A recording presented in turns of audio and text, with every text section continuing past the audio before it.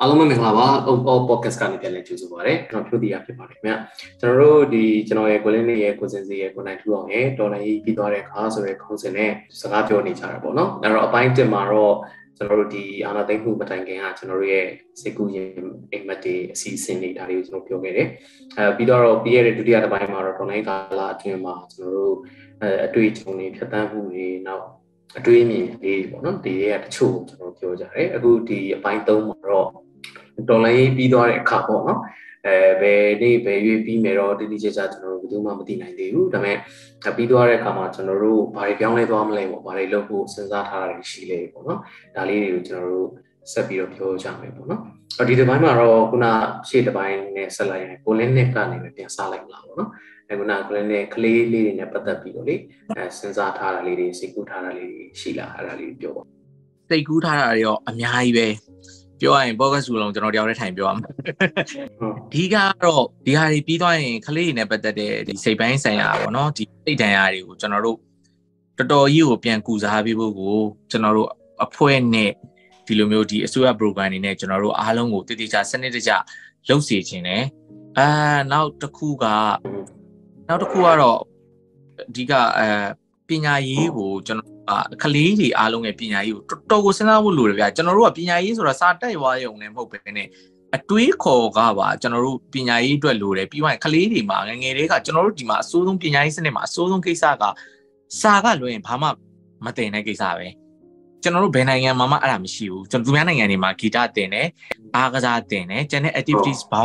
င်းလုံးတင်တယ်ပြီးတော့ဒါတွေကအခွင့်အရေးအနေနဲ့ဟိုနိုင်ငံနိုင်ငံတကာမှာဘယ်နိုင်ငံတော့အဲ့ဒါလည်းခဏခဏပြောနေကျွန်တော်တို့ကဘာဖြစ်လို့ကျွန်တော်နိုင်ငံကအမှုပညာအမြဲတမ်းနောက်ကျလဲဆိုကျွန်တော်တို့ကဒီဒီကိစ္စတွေကိုအမြဲတမ်းဟိုအပိုအလုပ်တွေလို့အမြဲတမ်းဟိုနေဖြစ်ခဲ့ပြီးတော့မှအဲ့ဒီအတွေးခေါ်ကဟိုစင်ကစင်ကတဲ့ယူလာတယ်အเจ้าမှာဂီတတင်မှုကိစ္စဟာတကယ်ကိုပဲလိုအပ်တယ်ဆိုတဲ့ဟာကိုသူတို့မသိရဘူးဘာလို့ကျွန်တော်တို့ကအမြဲတမ်းတကဘာလုံးနဲ့ရှင်လိုက်ရင်အမှုပညာအမြဲတမ်းနောက်ကျတယ်အခုကျွန်တော်တို့အိန္ဒိယထိုင်းနဲ့ရှင်လဲတခြားတွေနောက်ကျတယ်ခုနကကိုရီးယားတို့ကအေရှန်မှာဆိုအခုသွားတယ်ဘာဖြစ်လို့လဲဆိုတော့ ငငယ်တွေကသူတို့ကအမှုပညာနဲ့သွားတဲ့အပြင်ကိုဒီဟာတွေအားလုံးကကြီးတာထိတည်ယူသွားတယ်ပေါ့နော်ဒါတွေကလည်းဟိုပြောမယ်ဆိုရင်ဒါတွေကပြောမယ်ဆိုရင်ကျွန်တော်တိုင်းပြည်ဝင်ကိုအများကြီးတစ်ဖက်တစ်လမ်းကနေပြီးတော့မှဟိုအများကြီးရှာပေးနေတဲ့ ဟိုဟိုဟာတွေပြောမယ်ဆိုဒီကိုဟာဟိုအသက်မွေးချောင်းပြီးဟိုဟာတွေကိုလူမြတ်သမားတွေဆိုတာသူများရဲ့လို့ဟိုတစ်တချောင်းဟိုတစ်တပင်ရေနံတစီထုတ်ကြောင်းတရားမလို့ပဲねသူများနိုင်ငံပတ်စံကိုအိတ်တွေကိုနိုင်ငံကိုအိတ်တွေကိုအများကြီးရွှေ့ပေးနိုင်တဲ့လူတွေဆိုတော့ဒီအမှုပညာအားကစားတို့နဲ့ပတ်သက်ရင်ကျွန်တော်နိုင်ငံမှာအဲ့ဒါတွေကိုဘာလို့အမြင်နဲ့ဒီအစိုးရဟိုဟာဆက်ဆက်မှာမတွေးခဲ့လဲတော့မသိဘူးဒါတော့တစ်ချက်ပေါ့နော်နောက်တစ်ချက်ကတော့အမြန်ပြောနေရတယ်တသက်တာဖြစ်တယ်ဒါပေမဲ့နောက်တစ်ချက်ကကျွန်တော်အေးစားပြော နောက်တစ်ချက်ကကျွန်တော်တေချာပြောချင်လို့ဆိုတာနောက်တစ်ချက်ကအမုန်းတရားတွေနဲ့ပတ်သက်ပြီးတော့မှကျွန်တော်တို့ခလေးတွေရှိရနေပြီးတော့အဲ့အမုန်းတရားမပါစီခြင်းကျွန်တော်ဆွဲထုတ်ချင်တာကျွန်တော်အဲ့ဒါနဲ့ပတ်သက်ပြီးတော့အမြဲတမ်းစဉ်းစားတယ်ကျွန်တော်တို့ကဒီပြန်သွားနေရတဲ့သွားနေရတဲ့ကလေးတွေမှာအဲဒီစစ်တပ်ကိုမုန်းတဲ့စိတ်တွေအများကြီးပါသွားမယ်ဟုတ်ကဲ့မှန်တယ်ဒီတွေမကောင်းဘူးပေါ့နော်မကောင်းသူ့တော်ညာအဲ့စစ်တပ်ကိုမုန်းတဲ့ဥစ္စာဒီကျူးလွန်တဲ့လူတွေမုန်းတာတဲ့မရက်သွားပဲနဲ့ ဒီဘက်အတိုင်းဝိုင်းတစ်ခုလို့ generation တစ်ခုကိုပြန်ပြီးတော့ဆက်ပြီးတော့မုန်းနေမယ်ဆိုရင်ဒါကပြဿနာရှိတယ်ဥပမာဆိုကြပါစို့ဒီကျွန်တော်တို့စေပေးရှောင်ကလေးတယောက်ကစစ်သားသားသမီးတယောက်ကိုမုန်းသွားမယ်ဆိုတဲ့ကိစ္စမျိုးကပြဿနာရှိတယ်လို့ခုနကဟိုတလောဆိုကျွန်တော်တို့ဖက်လိုက်ရတယ်ရဲစခန်းကိုကျွန်တော်တို့ဒရုန်းနဲ့ပုံကျဲချိန်မှာခလေးတယောက်ထိသွားတယ်ခလေးတယောက်ဆုံးသွားရလားမသိဘူးအဲဆိုလေကျွန်တော်စိတ်မကောင်းဖြစ်တယ်ဟိုဒါတကယ်ကျွန်တော်ရင်ထဲကပြောတဲ့စကားဒီကိစ္စကဟိုဟိုလူတွေအမြင်နဲ့ဟိုတူချင်မှတော့တူလိမ့်မယ်ဒါပေမဲ့ အဲ့ဒီခလေးဟိုဘက်ကောဒီဘက်ကောခလေးတွေရဲ့ရင်ထဲမှာရှိတဲ့ trauma နှစ်ဖက်လုံးကိုဖျောက်ပြမှကျွန်တော်နိုင်ငံရှေ့ဆက်လို့ရမှာဗျအဲ့လိုမှမဟုတ်ရင်ဒီဟာကြီးကအစိုးရတန်မြာကြီးကလဲနေအောင်ပါပဲဆိုတော့ဟိုဒီကလေးတွေဘက်ကိုရောဒီကလေးတွေကိုအားလုံးကိုကျွန်တော်တို့ကဟိုတခုခုနားလည်အောင်သင်ပေးရမှာကကိုယ့်ရဲ့မိဘတွေကလည်းအမြဲတမ်းဘုရားသခင်လိုအမှန်တရားတွေမလုပ်သွားနိုင်ဘူးမှားသွားနိုင်တယ်ဆိုတဲ့ဟာကိုလည်းကျွန်တော်တို့တည်တည်ချာချာနားလည်အောင် ပြောပြဖို့လိုတယ်ကလေးတိုင်းကိုဒီမှာကျွန်တော်ဒီရှားနိုင်ငံမှာဆိုကလေးတွေကို individual ပြောင်းသင်မြဲဆိုအဲ့ဒါမျိုးပေါ့နော်သူတို့ကဒီအဖေမီကို hero ဖြစ်ဖို့ထက်သူတို့ရဲ့လူမှုစံနှုန်းတွေကိုဦးစားပေးပြီးတင်ကြတာ။အဲ့တော့အဲ့ဒီဟာတွေကိုနှစ်ဖက်လုံးကိုကျွန်တော်တို့ကတင် जा ပြီးဖို့လိုအပ်တယ်ဒါပြီးသွားရင်ဟိုဘက်ကလေးဒီဘက်ကလေးအားလုံးကိုကျွန်တော်တို့ကလွှတ်ချတာလို့မရပဲねဒီစံနှုန်းတွေကိုကျွန်တော်တို့တည်တည်ချာချာနားလည်အောင်ပြောပြရမယ်ပြီးတော့ဒီလိုကျူးလွန်ခဲ့တဲ့လူတွေပဲဖြစ်ဖြစ်ကျူးလွန်ခံရတဲ့လူတွေပဲဖြစ်ဖြစ်ဒီမှာကြံခဲ့တဲ့စိတ်ထင်ရတဲ့အားလုံးကိုကုစားပြီးပြီဒါဟာကိုရီနဲ့မဆိုင်မင်းနဲ့ ဟိုဒါကရှေ့ရဟိုပါဘောနော်ကိုနဲ့ကိုမှအပြစ်မရှိသလိုဒါတွေကိုကိုကလည်းဆက်ပြီးတော့ဟိုမုံတရားတွေလည်းတည်ယူသွားဖို့မလိုဘူးဆိုတဲ့အားမျိုးဟိုတော်တော်ဟင်းလင်းလုပ်ပေးနိုင်မှလည်းကျွန်တော်တို့ဒီတိုင်းအနာဂတ်ကရှေ့ကိုဆက်လို့ရမှာလို့ကျွန်တော်ထင်တယ်ဒါကကျွန်တော်တကယ်ကိုအမြဲတမ်းလေးလေးနဲ့တွေးနေတဲ့ကိစ္စတွေမှာပါတယ်ဘာဖြစ်လို့လဲဆိုတော့အဲ့ဒါကျွန်တော်တို့ကလေးတွေအတိုင်းပြည်အနာဂတ်ပဲကျွန်တော်တို့ကလေးတွေကိုဘယ်လိုပြုစုပြောထောင်မှလဲဘယ်လိုအတွေးခေါ်တွေရိုက်သွင်းမေးမှလဲဆိုတော့မူတည်ပြီးတော့မှကျွန်တော်အနာဂတ်ကပြောင်းမှာ哦 အဲအဲ့ဒီအရာမှာလဲဟိုဒီဒီနေရာမှာကျွန်တော်ဒီကျွန်တော်ကြုံလုံးကျွန်တော် podcast လုပ်ချင်တဲ့အကြောင်းအရာလေးတခုကြုံလုံးပြောသွားအောင်မယ်ကျွန်တော်ကျွန်တော်တို့ရုပ်ရှင်တကားထဲမှာဗျဒီဟို Star Trek ဆိုတဲ့ကားထဲမှာတို့ကရှာဖွေစူးစမ်းတာပေါ့နော်စက်ကြပါလို့လောက်ရှာရပဲချိန်မှာဂျိုတခုသွားတွေ့ရအဲ့ဂျိုကဟိုလူရိုင်းနေနေရအဲ့လူရိုင်းနေအားလုံးတို့ကလေးလာပြီးတို့ကအဲ့ဒီတိတ်ပိုင်စီရင်ကိုမတွေ့အောင်တို့အမြန်ပြန်ပြေးရဟိုလူတွေကမြင်လိုက်တယ်ဒါပေမဲ့သူ့စိတ်ထဲမှာတကူရှိတခုလို့ပဲထင်လိုက် ဒါဒီမှာလဲအခုထိလဲ Amazon Store ထဲမှာလူရိုင်းနေရှိတယ်လို့ဟိုလူရိုင်းရိုင်းတဲ့ဟိုဟာရှိဒါပေမဲ့အဲ့ဟာကိုကျွန်တော်တို့ကသွားပြီးတော့မှဘုံတိုင်းကျဲပြီးတော့ဒီခေတ်ပညာရေးနဲ့ထိတွေ့ဖို့ဒီကဒီဒီနိုင်ငံတကာလူတွေမကြိုးစားကြအောင်ဘာလို့ဆိုတော့တို့ကသူတို့ဥစ္စာအမြင်အတွေးဖော်တယ်မှာကအမြဲတမ်းကိုကိုယ်တိုင်တင် जा ပြောင်းလဲသွားမှသာလေကျွန်တော်တို့ကရှေ့ရောက်တာဗျာဥပမာလိပ်ပြလေးတစ်ခေါက်ကျွန်တော်တို့အခွန်ကတိုးထွက်လို့သွားဆွဲခွာလိုက်ရင်အဲ့လိပ်ပြတည်သွားမလို့ပေါ့နော်ပိုးတုံးလုံးပေါ့အဲ့လိုမျိုးက ကျွန်တော်တို့ဒီနိုင်ငံရဲ့ဖြစ်နေတဲ့ဥစ္စာမှာလေအဲ့ process တွေပါတယ်လို့ကျွန်တော်ခံစားရတယ်နိုင်ငံတကာကဝုန်းကနေဒိုင်းကနေခုညီလိုက်ရင်ကျွန်တော်တို့က chaos တွေဖြစ်ကြံခဲ့မှာပေါ့နော်ဒီဘေးဒုက္ခဟိုတွေပြန်ကြံခဲ့မှာဟိုဆိုတော့ကျွန်တော်တို့ခုနပြောတဲ့အတွေးခေါ်တော်လိုင်းကြီးကခလေးတွေကနေစပြီးတော့အဆင့်ကအဆင့်ကပြောင်းသွားဖို့သူတို့ကလိုအပ်တယ်လို့သူတို့ယူဆတယ်အဲဒါကြောင့်မလို့သူတို့တချို့ဥစ္စာတွေကအဲကျွန်တော်တို့ကအိမ်စာလုပ်နေရတာကျွန်တော်တို့ဒီစာကြည်သွားမှကျွန်တော်တို့ကဒီတိုင်းမီကပြောင်းလဲနိုင်မှာ အဲ့စာကြည်ဖို့ကိစ္စကကျွန်တော်တို့မမြင်တော့ခလေးတွေမှာမှီဖို့ကကျွန်တော်တို့ကလိုအပ်တယ်အဲ့တော့တိုင်းမီကိုပြောင်းလဲဖို့ဆိုတဲ့ဥစ္စာမှာကျွန်တော်တို့ဒီဒီဖြတ်တန်းသွားမယ်ကျွန်တော်တို့ဟိုးသူငယ်တန်းကနေ10တန်းအထိဖြတ်တန်းသွားမယ်ခလေးတွေအားလုံးကအဲ့15နှစ်ကကျွန်တော်တို့အချိန်ရတယ်အဲ့15နှစ်အတွင်းမှာအဲ့စစ်ထဲဝင်သွားမဲ့ကောင်လည်းပါမယ်ခုနလိုနိုင်ငံရေးသမားလုံးမဲ့ကောင်လည်းပါမယ်အမှုမြသမားလုံးမဲ့ကောင်လည်းပါမယ်ဟို social influencer လုံးမဲ့ကောင်လည်းသူတို့ရဲ့ပြောလာမဲ့စကားတွေသူတို့ရဲ့ပြောင်းလဲသွားမဲ့အတွေးခေါ်တွေအားလုံးကိုအဲ့15နှစ်ကာလမှာကျွန်တော်တို့က ပြောင်းလဲပြီးနိုင်မှာကျွန်တော်တို့တိုင်းပြည်ကရှေ့ဆက်လို့ရမှာအဲ့ဒီနေရာမှာခုနလိုအဲ့ပညာရေးကတပြေးညီလည်းဖြစ်ဖို့လိုအပ်တယ်အဲ့ဒီဒီကျန်တဲ့ကိုရီဘာတွေတင်มาလဲဆိုတဲ့ဟာနဲ့ဟိုဘယ်ကိုသွားမှာလဲဆိုတဲ့ဥစ္စာလည်းတင်ဖို့လို့ကျွန်တော်တို့မှပညာရေးတင်ခဲ့ရတဲ့အကောင်လုံးကျွန်တော်တလွဲတွေပဲအကောင်လုံး British စနစ်ကိုအသေးချာကြီး ဟိုဂုံဖွယ်ရတင်ခဲ့ရတာတော်တော်ကြောင်တယ်အခုပြန်တွေးချင်းကျွန်တော်တို့အဲ့ဒီဟာတွေအားလုံးကအခုဒီသူတို့ကဘာလို့လဲဆိုတော့သူတို့က British စနစ်ကိုအသက်သွင်းနေတာအောင်ဆိုတော့ကျွန်တော်တို့ဟိုတောက်လျှောက်မှာတင်ခဲ့ရတဲ့အကောင်လုံးဝါဟီရိုတွေကိုပဲကျွန်တော်တို့ကသူရဲကောင်းတစ်ပွဲတင်ခဲ့ရတာဟိုကျန်စစ်သားတို့ခုနလိုတမင်မြန်တို့ဟိုချတဲ့ကောင်တွေတဲ့မလားအာသူများဟိုကိုတိုင်းမျိုးလို့ချလိုက်မယ်ဆိုတော့အဲ့လိုအမျိုးပါတာတာဟာမျိုးအဲ့လိုမျိုး mindset တွေကျွန်တော်တို့တောက်လျှောက်သင်ခဲ့ရတော့တမိုင်းတင်တာမအောင်သင်နေဆိုပေမဲ့အဲ့တမိုင်းကိုဘယ်လိုသင်မလဲဆိုတာရှိသေးတာ။ဒီတမိုင်းတွေကိုသင်ရဒါပေမဲ့ဒီကောင်တွေကကောင်းတဲ့ကောင်တွေမဟုတ်ဘူးဒါဒီခေတ်ကမရင်ကြီးတဲ့လူခွေသီးမှာဖြစ်တဲ့ ပြဿနာတွေပေါ့။ဥပမာအနော်ထားလိုမျိုးအခုလိုမျိုးပေါ့အခုကိုဘာသာမတူအကုန်လုံး white box လောက်အကုန် short ဆိုတဲ့ဟာမျိုးအဲ့လိုဟာမျိုးကိုကျွန်တော်တို့သူရဲကောင်းဖြစ်သင်ခဲ့ရတာ။ဆိုတော့အဲ့အဲ့ဒီတွေးခေါ်ကျွန်တော်တို့ကခလေးတွေကိုဘယ်လိုပြန်ပြီးဆွဲထုတ်မှာလဲကျွန်တော်တို့ကအဲ့လိုမျိုးအစူးတွေပါလာတာလေဆိုတော့အဲ့လိုခလေးတွေကိုတမိုင်းပြီးတာမအောင်တင်မေးဆိုမဲ့တမိုင်းကိုဘယ်လိုတင်มาလဲရှိသေးတာ။အဲ့တော့တမိုင်းမှာဘေကောင်တွေကတော့ရှက်စရာကောင်းပြီးတော့မှ ဘေကောင်တွေကတော့ဒီလိုမတိုးတက်တဲ့ကာလမှာဒီလိုတွေဖြစ်ခဲ့တာအခုတော့သူများနိုင်ငံတွေကဘယ်လိုတွေပြောင်းလဲသွားတော့ဘယ်လိုတွေဖြစ်နေကြပြီအဲ့တော့ငါတို့ကဘယ်လိုတွေးခေါ်တဲ့နဲ့ဟိုအုတ်ချုပ်ရေးဆိုတာဘယ်လိုမျိုး Brazil စနစ်ဆိုတာကဒါတစ်ခေတ်ပြီးသွားပြီဒါကိုဘယ်လိုစန့်ကျင်ရမလဲကျွန်တော်ကျွန်တော် Brazil စနစ်ကြီးဆိုအင်္ဂလိပ်ဟိုဆုံးသက်ပြီးသွားလို့ဆုံးသက်သွားတဲ့ကိစ္စဒါပေမဲ့ဒါကိုကျွန်တော်နိုင်ငံကအသက်သွင်းနေတဲ့ခါကျတော့ပညာရေးမှာအမြင်ရိုက်ထည့် ကျွန်တော်တို့မှာအဲ့ plan အမြင်ခံစားရအဲ့အဲ့ Brazil စနစ်နဲ့ပတ်သက်တဲ့ဟာတွေကျွန်တော်တို့သူများနိုင်ငံတွေနဲ့ခွဲခြားထုတ်တဲ့အတွေးအခေါ်တွေအဲ့လိုအမျိုးပေါ့ဟို globalization မကြည့်ပြအောင်လို့ကိုယ်နိုင်ငံကိုချစ်တဲ့စိတ်ကိုအရန်ပြီးတော့ဟို like ရိုက်သွင်းတဲ့ဟာတွေပေါ့ဆိုအဲ့ဒါကြီးကျွန်တော်ဖျောက်ချင်တယ်ကျွန်တော်ပြောချင်တာတောင်လည်းပြီးသွားတဲ့ခါကျရင်အရင်တော့များနေမယ်ကျွန်တော်ရဲ့ target ကတော့ကလေးတွေကနေစပြီးတော့ပညာရေးစနစ်ကိုနေဖြစ်ရှင်တယ်အမုန်းတရားတွေဖျောက်ချင်တယ်ကလေးတွေရဲ့ mindset တစ်ခုလုံးဒီကျွန်တော်တို့ရှိသမျှကလေးတွေကျွန်တော်အကုန်ပါတယ်အကွာကျွန်တော်ခုနပြောလို့ဟိုနောက်ဆုံး ဒီကလေးတွေကစစ်သားသားသမီးတွေလည်းဖြစ်ကောင်းဖြစ်မယ်ရဲသားသမီးလည်းဖြစ်ကောင်းဖြစ်မယ်ခုနလိုဟိုအချင်းခံလိုက်ရတဲ့ဒလန်ရဲ့ဟိုမြင်လဲရတဲ့သားသမီးလည်းဖြစ်ဖြစ်မယ်ဒီကလေးတွေရဲ့ mandate trauma တွေအော်ကျွန်တော်တို့ဒီဘက်ကကျွန်တော်တို့ online ကာလာကနေကြာဆုံးသွားတဲ့ရဲဘော်တွေသားသမီးတွေလည်းဖြစ်မယ် series တောင်းတာကလေးတွေရဲ့အားလုံးရဲ့ mandate trauma တွေကုစားပေးဖို့သူတို့ရဲ့ mindset တွေ education စနစ်တွေကိုကျွန်တော်တို့ကကျွန်တော်တို့ဟာတွေအကုန်လုံးကိုဖျက်တောက်ပြဖို့ကြိုးစားရမယ်ဟိုဒီကလေးတွေမှာအပြစ်မရှိတဲ့ဟာကိုကျွန်တော်တို့ကအမြင်နဲ့အသိပေးပြီးတော့မှရှေ့ဆက်သွားဖို့လိုအပ်တယ် ကျွန်တော်တော်လိုင်းပြည့်ရဲ့အဖြစ်ချင်းဆုံးကိစ္စအဲ့ဒါပဲအဲ့ဒါနဲ့ပတ်သက်ပြီးတော့မှလည်းဟိုတာဝန်ရှိတဲ့လူတွေအကောင့်ထဲပေါ်စေခြင်းတယ်ကျွန်တော်လည်းကျွန်တော်နိုင်ခဲ့ကျွန်တော်အဲ့ဒီဟာအမြဲဟ ခေါင်းထဲမှာအမြင်တွေးရတယ်အခုခွန်လိုက်ပါဝင်မယ်လို့အမြင်စိတ်ကူရှိတယ်ဒါကျွန်တော်စိတ်ကူကျွန်တော်လူပြောကြအောင်တော်တော်လေးများပြီးရှိနေပြီဆိုတော့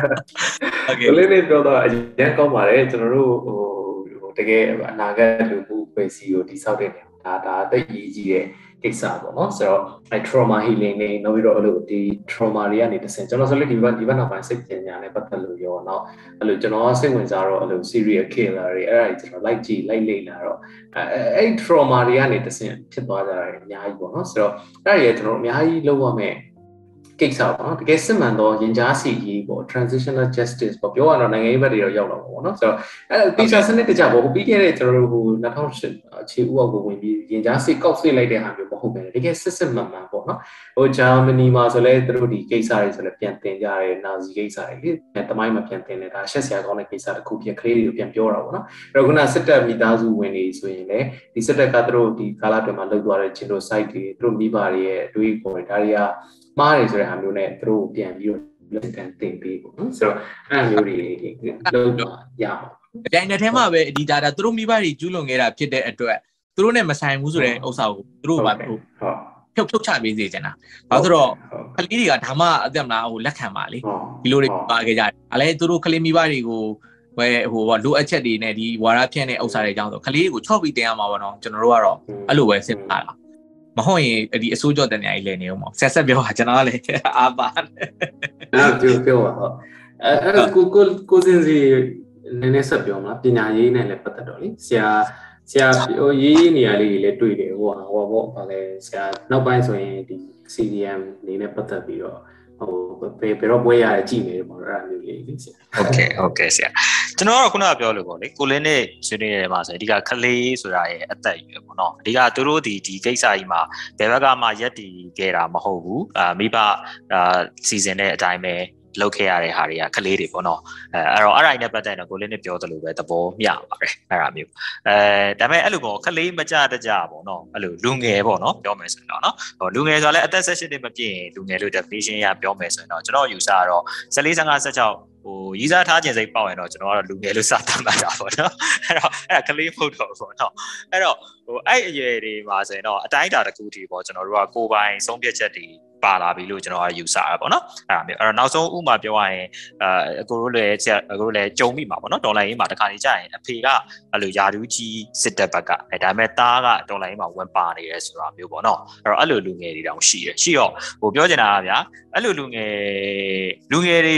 ကလေးတွေအထိမပါသွားသေးချင်ဘူးဆိုတော့ဟုတ်တယ်အဲအဲ့လိုပေါ့နော်ဟိုကျွန်တော်နောက်နောက်ကျောင်းပြန်နေပဲပြောပြောမဆိုင်တာကိုအေးအေးယူရပဲပြောပြောဒါတွေလောက်ဆရာမလို့ဒါပေမဲ့ဟိုလူငယ်နဲ့ပတ်သက်ရင်တော့ရှင်းပြောရင်တော့ခုန CDM မလောက်လိုက်တဲ့လူငယ်ဆိုပါလို့နော် CDM မလုပ်လိုက်ဘူးသူတို့ကတော့အကြောင်းပြမှာပေါ့နော်မိဘအကြောင်းပါညာအကြောင်းပြတော့မဟုတ်ပါဘူးတကယ်လည်းဖြစ်တာပေါ့နော်ဒါပေမဲ့အဲ့ဒါနဲ့တစ်ဖက်မှာကျွန်တော်တို့က CDM နေပါတယ်တကယ်ပညာရေးမှာလုပ်ခဲ့တယ်ဒီနှစ်နှစ်သုံးနှစ်အခုဆိုသုံးနှစ်နီးကတ်တော့မှာပေါ့နော်အဲ့တော့အဲ့ဒီကာလာကြီးကိုလူငယ်ဘဝမှာအဲ့လောက်နောက်ကျတာကြတော့အရန်တည်တာတယ်ဗျကျွန်တော်တို့လူလက်ပိုင်းတွေမှာနောက်ကျတာလူကြီးပိုင်းတွေမှာနောက်ကျတာကွာသွားတာနဲ့ကိုအများကြီးကိုသိရတာကွာတယ်ကွာရတဲ့အချိန်မှာကျွန်တော်ကရှင်းပြောတော့ ဟိုသူတို့ကိုတန်းစားရဲပြန်ဆက်ဆံပါဆိုတာမျိုးကိုကျွန်တော်ကအားမပေးဘူးပေါ့နော်ဒီလူငယ်ဘိုင်းနဲ့ပတ်သက်ရင်တော့အဲ့တော့တန်းစားရဲမဆက်ဆံနိုင်ဘူးအဲ့တော့နှိမ်ချပြီးဆက်ဆံတယ်လို့ပြောရင်တော့လေလူ့ခွင့်ရှုတော့အကျင်တော့လေတမျိုးတော့ဖြစ်မှာပေါ့နော်အဲ့တော့ဒရူးကလည်းမနှိမ်ချဘူးပေါ့ကျွန်တော်အယူကဒါပေမဲ့အဲ့အဲ့တော့ဒါပေမဲ့ကျွန်တော်တို့လူငယ်တွေကိုတော့ကျွန်တော်တို့ပို့ပြီးတော့ဦးစားပေးပြီးတော့ဆက်ဆံမယ်ဒါကတော့ကျွန်တော်သွားကျင်တဲ့ပူပေါ့နော်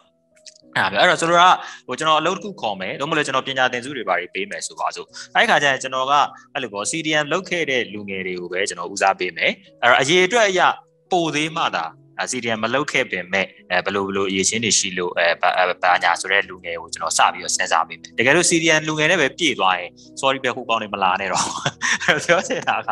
ဟိုကျွန်တော်ဒါဟိုပညာသင်ဆိုတဲ့အလုပ်ကံပဲဖြစ်ကျွန်တော်တို့ကအဲ့လိုပုံစံဟိုစဉ်းစားရတယ်ပေါ့နော်အဲ့လိုပဲကျွန်တော်ကတော့ဖြစ်နိုင်ရင်တခြားလုပ်ငန်းရှင်တွေတခြားကြောင်းထောင်ထားတဲ့လူတွေကိုလည်းကျွန်တော်ကတော့အဲ့လိုစဉ်းစားစီခြင်းတယ်စဉ်းစားစီခြင်းတဲ့ဆိုခွဲခြားဆက်ဆံတာမဟုတ်ဘူး အာရှင်းပြတော့ဟိုကျွန်တော်တို့ခဏခဏပြောတာပေါ့နော်ဟို discriminate လုပ်တာခွဲခြားပြီးနှိမ်ချပြီးဆက်ဆံလိုက်တာမျိုးမဟုတ်ဘူးဒါပေမဲ့တစ်ဖက်မှာကြည့်ရင်ကျွန်တော်တို့ကဦးစားပေးတာ preference ပေါ့အဲတခုခုတော့ကိုကိုနဲ့တက်တာကိုနဲ့ဟိုခံယူချက်တူတာအဲပြီးရင်ကိုတွေလိုပေးဆက်ခဲ့ရတဲ့လူတွေကိုပို့ပြီးတော့ဟိုအားဖြည့်ပေးတယ်လို့ကျွန်တော်ကတော့သဘောထားစီခြင်းတယ်။ဘာလို့တချို့ကျတော့ရှိရတယ်မလား။ဟိုခွဲခြားတယ်လို့မြင်တာမျိုးပေါ့နော်။အဲ့ဒါမျိုး။အဲ့တော့ဟိုစကားကတ်တာတော့မဟုတ်ဘူး။အဲကျွန်တော်တို့အဲ့လိုလုပ်ပေးမှရှင်းပြောရင်တော့ဒီလူငယ်တွေကဟအာဆုံးရှုံးသွားတဲ့နှစ်တွေအတွက်အရှင်းပြောရင်တော့သူတို့ကာပါဖြစ်မှာမဟုတ်ရင်တော့တစ်သက်လုံးနောက်ကျမှာပေါ့နော်အဲ့တစ်သက်လုံးနောက်ကျမဲ့ feeling ကိုစဉ်းစားကြည့်ပါဆရာကိုလည်းအမှန်တိုင်းလဲနေခဲ့ရက်တည်ခဲ့ရသေးတယ်တစ်သက်လုံးကြီးလဲနောက်ကျမယ်အရှင်းပြောရင်အခုနလိုခံယူချက်မကောင်းတဲ့ကောင်တွေအောက်ကအလုတ်ပြောင်းဝင်လောက်ရမလို့တွေပါဖြစ်သွားနိုင်တယ်ပေါ့နော်တကယ်လို့ဒါကျွန်တော်တို့ကခုနလိုဟာမျိုးမစီစဉ်ဘူးဆိုရင်ပေါ့အဲ့တော့ကျွန်တော်ကတော့ဟိုပုဂ္ဂလိကလုပ်ငန်းရှင်ဘက်ကပဲဆိုတော့ဗျာကျွန်တော်တို့ကတော့မတက်နိုင်ဘူးကျွန်တော်တို့ shoot down ပါဆိုတော့ကျွန်တော်တို့ဒါတွေလုပ်မယ်အဲအစိုးရနဲ့ပတ်သက်ရင်တော့လေသူတို့မှလည်းဒါနဲ့ပတ်သက်ရင်ဟိုတိုင်းတာတစ်ခုထိနည်းနည်းရဲတဲ့ policy မျိုးဆွဲရမှာရမယ်ဒါပေမဲ့ဆွဲတဲ့အခါမှာလည်းခုနပြောလို့ပေါ့နော်ခွဲခြားဆက်ဆံတယ်ဆိုတဲ့ပုံစံမျိုးလည်းမပေါက်အောင်အဲဒါပေမဲ့တစ်ဖက်မှာလည်းနစ်နာခဲ့တဲ့လူတွေကိုပြန်ပြီးတော့ ပို့ပို့တတာပြန်ဖြည့်ဆည်းပေးတယ်ဆိုတဲ့သဘောမျိုးလည်းဖြစ်အောင်တော့အစီအစဉ်တွေလုပ်တင်တယ်လို့ထင်တယ်ပညာရေးပဲဖြစ်ဖြစ်အလုပ်ကိုင်ပဲဖြစ်ဖြစ်ပေါ့နော်အဲ့ဒါအဲ့တော့အဲ့ဒီဘိုင်းတွေမှာအာလုပ်ဖြစ်ခဲ့ကြတယ်လုပ်ဖြစ်မှာပါနော်ဘယ်သူလုပ်လို့မလုပ်လို့လုပ်မဲ့လူတွေကတော့ကျွန်တော်လည်းတွေ့နေရပဲလုပ်ကြမှာပဲဆိုတော့အာအတက်နိုင်တော့ကျွန်တော်ပူပေါင်းဆောင်ရွက်ပြီးတော့လုပ်ကြမှာပေါ့နော်ဒါကတော့ဟိုဒေါ်လာရင်းနဲ့ပတ်သက်လို့ဆက်ဆက်ပြီးပြောရရင်တော့ကျွန်တော်မှာ i feel လေးတော့ရှိတယ်အဲနောက်တစ်ခုကတော့အာကိုစင်ကြာဆက်ဆက်ပြောလိုက်ဖြတ်ပြောလိုက်အောင်မယ်ပြောရတယ်အဲ့ဒါနဲ့ ပြီးတော့မှကျွန်တော်တို့အစိုးရ policy အကိုကနာပြောသလိုမျိုးဒီမှာလည်းရှိတယ်အဲ့ဒါမျိုး policy ကဒီမှာကျတော့ဘယ်လိုအမျိုးလဲဆိုတော့အလုပ်တစ်ခုမှာကျွန်တော်တို့ကျွန်တော် grocery man တစ်ခုမှာဆိုရင်သူကအဲ့လိုမျိုးဟိုပါဘောနော်ဟို down or autism တယောက်ခန့်ရတယ်ပြီးသွားရင် LGBT ဝေးဘယ်လောက်ခန့်ရတယ်အဲ့လိုရှိတယ်သူကအဲ့အဲ့မှာသူက diversity ဖြစ်ဖို့အတွက် immigrant ဘယ်နှစ်ယောက်လောက်ခန့်ရမယ်အဲ့လိုမျိုးရှိတယ်သူတို့ကဒီအလုပ်တစ်ခုကိုသူတို့ဒီအချိုးသူဟိုဘောနော်အချိုးစားနဲ့ အဲ့တစ်ခုလုံးကိုသူကတိစောက်ထားတာဆိုတော့အကိုပြောသလိုဟာမျိုးကအစိုးရမှာဒီတော်လန်ရေးမှာအဲ့လိုမျိုးပါဝင်ခဲ့တဲ့ဘလူဘယ်နှယောက်ခန့်ရမယ်ဆိုတဲ့ဟာမျိုးကို policy ချလို့ရတယ်နိုင်ငံတကာမှာလည်းအဲ့လိုမျိုးဟိုဟိုကျွန်တော်ဒီဒီအမေရိကမှာအဲ့လိုမျိုးကိုချလာတယ်အဲ့တော့ကျွန်တော်စတိုးဆိုင်နေမှာဒေါင်းဆန်လုံးတယောက်ရှိတယ်သူကသူအစီပြင်းနေရတော့ထားရတယ်သူလုံနိုင်တယ်လုံနိုင်တော့ပဲခိုင်းတယ်ဒါပေမဲ့ခန့်ရတယ်ချင်းဒီလိုအဲ့လိုပဲ LGBT တွေလည်းရှိတယ်အဲ့ LGBT ကလည်းသူကပုံမှန် level ကရတယ် အဲ့လိုမျိုးသူ Asian ရှိအဲ့လိုမျိုးရှိတယ်သူခွဲထား Asian ရှိတယ်တခြားအဲ့လိုမျိုးတွေ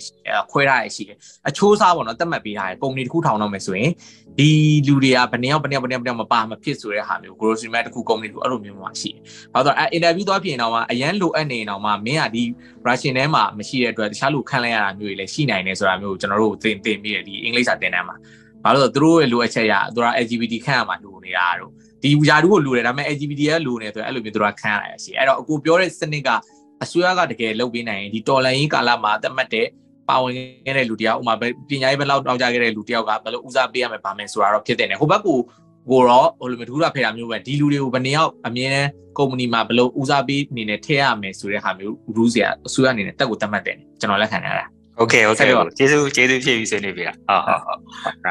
အဲ့တော့အဲ့ဒါအဲ့ဒီဟာပေါ့နော်ဟိုတကယ်ကျွန်တော်တို့စိတ်ထဲမှာရှိတယ်အဲနောက်တစ်ခုကတော့ဟိုပါပေါ့ခုနကိုလင်းနဲ့ပြောလို့ပဲအတွေးခေါ်ဒေါ်လာရေးပါညာပေါ့နော်အဲ့အဲ့ဒီဘက်မှာကျွန်တော်ကကျတော့နည်းနည်းပို့ပြီးတော့ feel လာတာစိတ်ဝင်စားတာကတော့အဲ့လိုဘာသာရေးအတွေးခေါ်ပေါ့နော်ဘာသာရေးအတွေးခေါ်ဆိုတာတခြားတောင်မဟုတ်ဘူးဟိုကျွန်တော်တို့တက်နေတဲ့ပြဿနာတော်တော်များများဒီဘာသာရေးကြောင့်မဟုတ်ပင်ပဲဘာသာရေးကိုကောင်းကောင်းကိုအသုံးချတဲ့လူအုပ်စုကြောင့် ဖြစ်နေတာတွေလည်းအများကြီးပါတာပေါ့နော်။ဘာလို့သူတို့ကြွေးကြော်တာဟွာဟွာအမျိုးပါတာတာသနာဟုတ်အဲ့ဒါမျိုးအဲ့တော့အဲ့မှာအဲ့မှာကိုကရှင်းပြောရင်တော့ဒါဒီသူတို့ကဟိုလက်နက်တစ်ခုအနေနဲ့တေချာအသုံးချတာတယ်ဆိုတာသိတာတယ်။အဲ့တော့ဟိုကိုလင်းနေပြောသလိုအစိုးကြောတန်တရား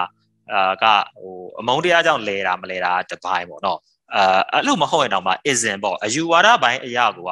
လဲလဲလဲသွားနိုင်တယ်အဲဆိုလိုချင်တာဟိုရှင်းပြတော့ဟိုကဘာဆန်မှုပေါ့နော် liberal ဆန်ပဲပြောရမှာပေါ့နော်အဲ့ဒါနဲ့ဒီ conservative အဲ့ဒါပါပြောချင်တာဟုတ်တယ် အဲ့ conservative အခုပြောမယ်ကျွန်တော်ရှင်းပြစစ်တပ်ဒီ conservative အကြီးစားအကျန်းသားလို့ပြောရမှာပေါ့နော်အဲကျွန်တော်တို့လူငယ်တွေကဒါရှင်းပြတော့ liberal ဆန်တာပေါ့အဲ့တော့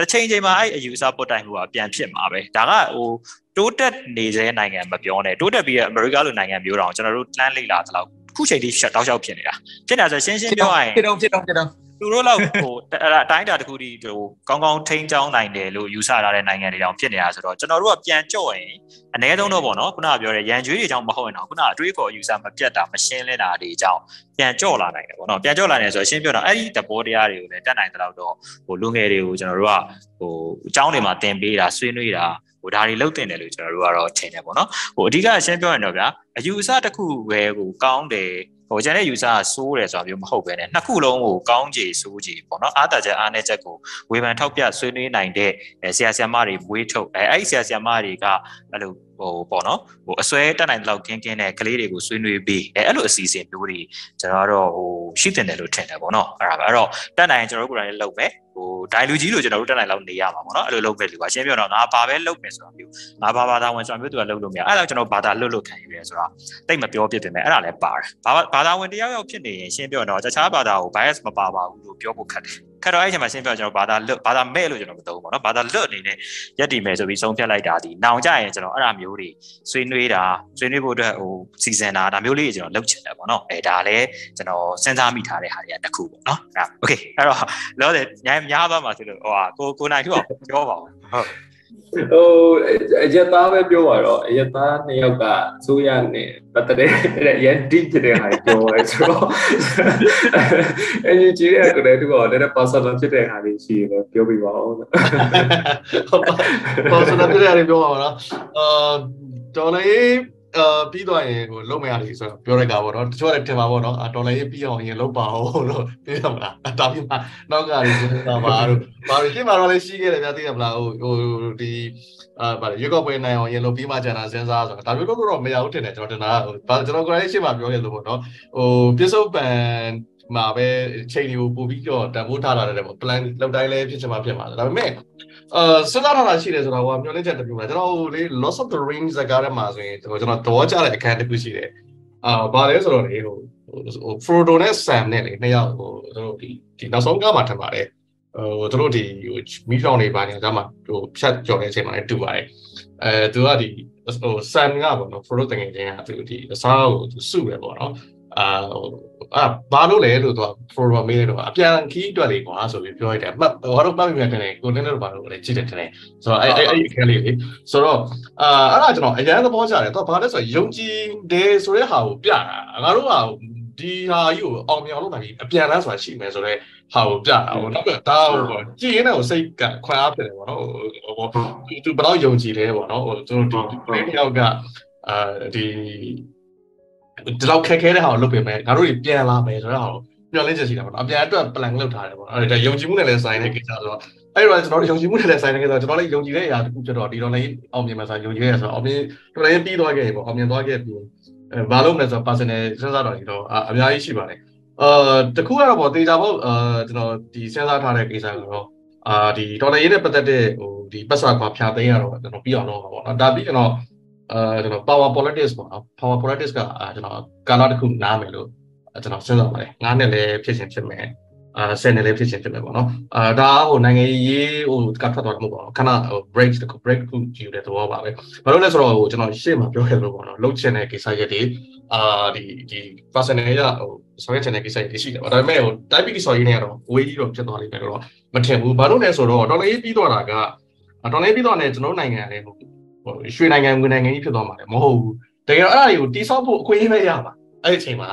တကယ်တော့လည်းပြီးတော့ဘာမှစောင့်လို့ပြဿနာပြတ်သွားမှာပေါ့နော်အဲ့တော့ဒီ process မှာတော့ကျွန်တော်တို့ဆက်ရှိနေမှာပေါ့ပထမဆုံးလုပ်ချင်တာကတော့ကျွန်တော်အာဒီတော်လိုင်းမှာကြုံခဲ့တဲ့အတွေ့အကြုံတွေကျွန်တော်စာပြန်ရေးပို့တာစဉ်းစားထားတယ်ကျွန်တော်တချို့ဟာတွေဟိုမှတ်ထားလေးတော့ရှိတယ်ပေါ့နော်ဘာလို့လဲဆိုတော့အာကျွန်တော်ကဟို share page မှာလည်းပါခဲ့တယ်ပေါ့နော်အာဒီ energy ဘက်မှာလည်းပါခဲ့ဖြစ်တယ်ပေါ့ဒီအတွေ့အကြုံတွေရဆိုတော့တချို့ဟာတွေကျွန်တော်သိထားတယ်အများကြီးရှိတယ်ပေါ့နော်ဘာလို့ဆိုတော့ အာတမိုင်းကကျွန်တော်ထင်တယ်အသက်အရေးကြီးရလို့ထင်တယ်ပေါ့နော်အဲ့တော့တမိုင်းနဲ့ပတ်သက်ရင်ဖတ်စရာတော်တော်ရှားတယ်ဟိုကျွန်တော်တို့ဒီရေးထားတဲ့စာလေးကျွန်တော်တော်တော်ကျေးဇူးတင်ရတယ်ပေါ့နော်အဲ့ဒီအတွေ့အကြုံတွေလက်ဆင့်ကမ်းဖို့တိတ်အရေးကြီးတဲ့ကိစ္စလို့မြင်တဲ့အခါမှာတော့ bias ပေါ့နော်မှန်တာတွေမှားတယ်မွေးပါဘူးဒါလိုမြင်ခဲ့တယ်ဒီလိုတွေးခဲ့တယ်ဆိုတဲ့ကိစ္စရပ်တွေတော့ကျွန်တော် ရေးချင်တယ်ပေါ့နော်ဘာလို့ဆိုလူတွေလည်းတချို့ဟာတွေ surprise ဖြစ်နေတယ်အများကြီးပါလိမ့်မယ်လို့ထင်တယ်အခုချိန်မှာပြောလို့မရတဲ့စကားတွေအများကြီးရှိတယ်အဲ့ချိန်ကျရင်တော့ပြောလို့ရတော့ဆိုတဲ့အခါမှာတော့အဲကျွန်တော်ပုံမဲ့ရေးမယ်ပေါ့နော်ကိုလင်းနေကြောင်းကျင်ပါမှာအဲ့ချိန်တော့ကိုပြောလို့ကြောင်းလည်းပါအောင်အဲ့ဒါတွေကျွန်တော်ပြန်ရေးမယ်ပေါ့နော်ပထမဆုံးလုပ်ချင်တယ်တော့အဲ့ဒါတွေအဲ့ဒါရေးနဲ့လုပ်ချင်တာတော့ရေးတယ်ကျွန်တော်ကျွန်တော်ကျွန်တော်မိတ်ဆွေစီအခုဒီတော်လေးမှာတွေ့ခဲ့တဲ့မိတ်ဆွေတွေနဲ့တွေးနေတာပေါ့နော်ဟိုလူချင်းတွေ့တယ် အရင်နီးနီးပေါ့နော်အလုပ်တွေလည်းမပါဘူးဘာမှလည်းမပါဘူးဘီယာလေးတွေတောက်ကြမယ်တည်တယ်မလားဘီယာမတောက်ဘီယာတောက်ကြမယ်ဟုတ်ရတောက်ကြမယ်တောက်ကြမယ်အဲ့ကောင်ဘာမှမပါပဲတဲ့ဟိုကျွန်တော်တို့ဒီဟိုကြုံခဲ့တဲ့ကိစ္စတွေလည်းပြင်ပြမယ် အာကျွန်တော်ဝါသနာလည်းပြင်ပြမယ်ပေါ့နော်ရင်းနီးပုံမှန်လည်းလည်းပေါ့ဟိုကျွန်တော်တို့ဒီကျွန်တော်မပြောခဲ့ရတဲ့ကိစ္စတွေအကုန်လုံးပြောကြမယ်ဆိုကြမယ်ပေါ့ဘာလို့ကျွန်တော်တို့ဒီတော်လေးကာလာမှာရှိခဲ့တဲ့ဟိုမြတ်တာတရားတန်ရောစင်တွေအရင်နေမှုတွေကိုပို့ပြီးတော့ဟိုပွားများလုပ်ချင်တယ်ပေါ့နော်အစာရေးချင်တယ်အာကျွန်တော်ဒီအတွေ့အကြုံပထမဆုံးရေးချင်တယ်ပေါ့နော်ပြီးတော့ကျွန်တော်နောက်တစ်ခုလုပ်ချင်တာကတော့ကျွန်တော်အဲ့လူငယ်တွေနဲ့ကလေးတွေဖက်ဖို့စောင်းတွေဟိုဟိုတူနေတယ်ပေါ့နော်ဒီမှာတော့အဲကျွန်တော်ဒီရေးတာပဲဖြစ်ဖြစ်ထုတ်တာပဲဖြစ်ဖြစ်ဒါမှမဟုတ်ဖွဲ့စည်းနေလောက်တာပဲဖြစ်ဖြစ်အလုပ်ချင်တာကျွန်တော် ဒီလူငယ်မှာရောကလေးမှာရောဖတ်စရာစာတွေကတအားကိုနည်းတယ်ပေါ့နော်ဟိုအစိုးရသမိုင်းလို့ခါမျိုးဆိုလဲဖတ်စရာမရှိဘူးကျွန်တော်ဟိုဒီဘက်မှာဆိုအမေရိကန်သမိုင်းစာတွေတော့ခု evoke လေးတွေလို့ကျွန်တော်တို့အာကျွန်တော်ကြည့်မိတယ်ပေါ့နော်စပင်တော်ထောင်းကြုံမဲ့တယ်ဒါပေမဲ့အရန်ကောင်းတယ်သူရဲ့တစ်ခုချင်းစီမှာပုံတွေတုံးထားတွေကျွန်တော်တို့မှာဟိုကျွန်တော်တို့ဒီဟို အစိုးရထုတ်တဲ့စာအုပ်တော်မှာပုံတွေက water data အသမိုင်းဆိုတာကဟိုဟိုဖတ်စရာကောင်းကောင်းကမရှိခုနပြောလို့ပေါ့တကယ်အမှန်သမိုင်းလည်းမဟုတ်တဲ့ဟာမျိုးတွေဆိုတဲ့ဟာတွေ brain wash လုပ်တဲ့အရာတွေအာဆိုဖြစ်နေလွတ်လွတ်လပ်လပ်ဟိုလေ့လာစရာသင်ယူစရာတွေမရှိဘူးပေါ့နော်နောက်ကကျွန်တော်ဒီ education နဲ့ပတ်သက်တဲ့ကိစ္စရက်တွေအာကျွန်တော်ဆက်လုပ်ချင်တယ်ပေါ့ဘာလို့ကျွန်တော်ဒီဟိုရှေ့ကိုယ်စားလှယ်ဘောမှာလေလူငယ်တွေနဲ့အချိန်တော်တော်